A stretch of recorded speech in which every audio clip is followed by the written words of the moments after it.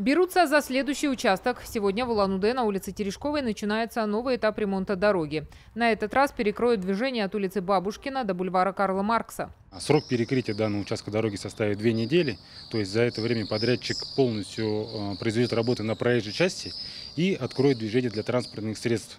Э, Перейдет в последующем на второй участок. То есть вот это направление движения улицы Терешковой тоже будет разбито на три локальных участка. Последующие участки также будут перекрывать на две недели каждый. Отмечу, что открытие дороги для движения автомобилей еще не значит, что комиссия приняла работу. Весь ремонт должны закончить до 1 октября.